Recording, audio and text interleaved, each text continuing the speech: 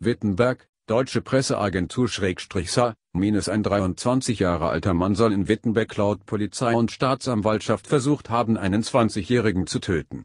Er wurde vorläufig festgenommen wie die Ermittler am Sonntag mitteilten. Nach ersten Erkenntnissen soll es am Vormittag in einer Wohnung in der Stadt zu einer körperlichen Auseinandersetzung zwischen den beiden Deutschen gekommen sein.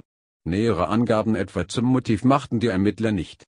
Ein 14 Jahre alter Zeuge habe die Polizei verständigt teilte ein Sprecher mit. Der 20-Jährige sei bei der Auseinandersetzung lebensgefährlich verletzt worden an Kopf und Körper. Der 23-Jährige wurde den Angaben zufolge ebenfalls verletzt. Gegen ihn werde wegen eines versuchten Tötungsdelikts ermittelt. Die beiden Verletzten wurden in ein Krankenhaus gebracht. Copyright Deutsche Presseagentur Infocom Deutsche Presseagentur Doppelpunkt 22041099 86966702